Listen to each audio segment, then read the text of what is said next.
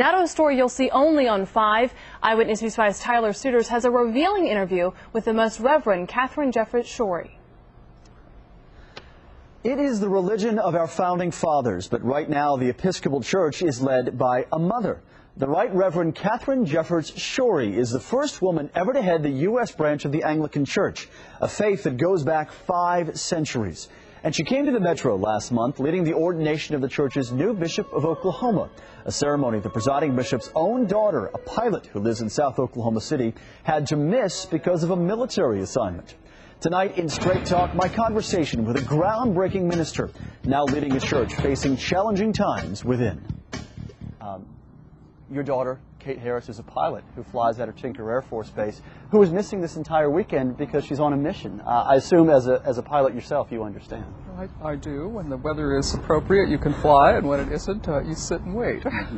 well, my daughter's a fourth generation pilot. My father was a Navy pilot, and his father was also a pilot, although his family didn't know about it until after he was dead. Uh, it sounds like you have a bit of risk taker in you as well by uh, accepting this position and the challenges that come with it.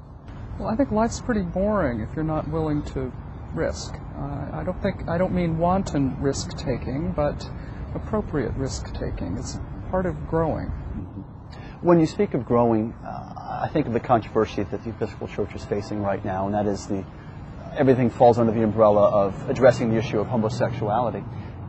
Is your approach something of uh, a risk-taking approach in addressing that? My goal is reconciliation.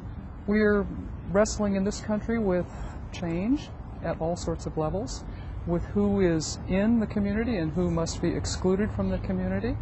And the church's long, long understanding is that Jesus invites all to the table. And we've wrestled in this country in this church with the place of African Americans and slaves in the church. We've wrestled with the place of women in the church.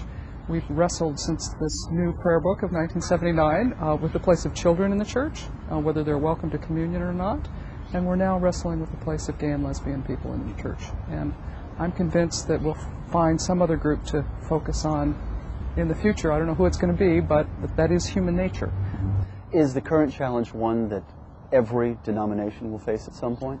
Most of the mainline denominations are wrestling with the same issue of homosexuality right now. The, the, it, it's an issue that's present in our culture. And the place of faith is to help us live within the culture where we find ourselves as faithful human beings. In that context, then, lawmakers are very quick to take up the church as a mantle. Is it proper for religious leaders to take up policymaking as a mantle as well?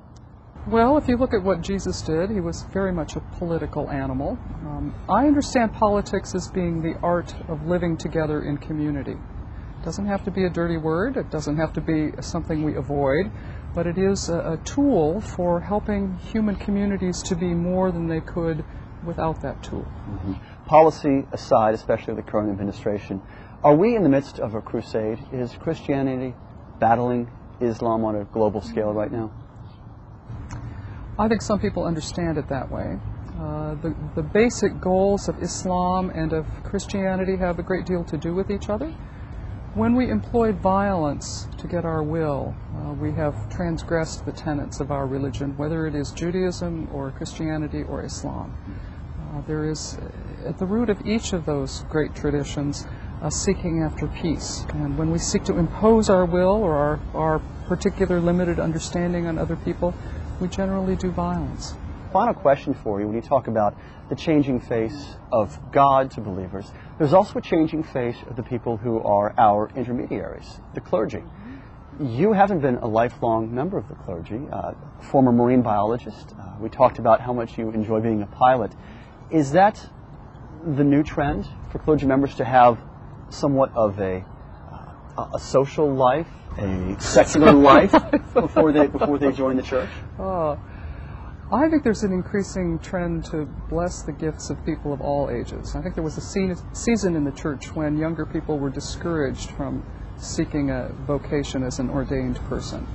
I think we're reclaiming the gifts that young people bring and doing that in very, very important ways. U.S. Episcopal bishops met late last month to talk about the rift, and thanks in large part to the presiding bishop's desire to reconcile, both sides generally acknowledge that progress is indeed coming. Now, for a closer look at her comments on the House of Bishops meeting, we have a link on our website. You can go to the As Seen on 5 section of KOCO.com. With Straight Talk, I'm Tyler Suiters.